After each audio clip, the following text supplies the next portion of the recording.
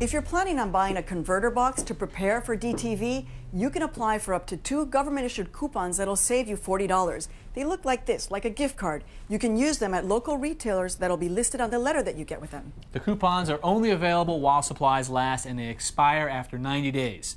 For more information on the program, call 1 888 DTV 2009.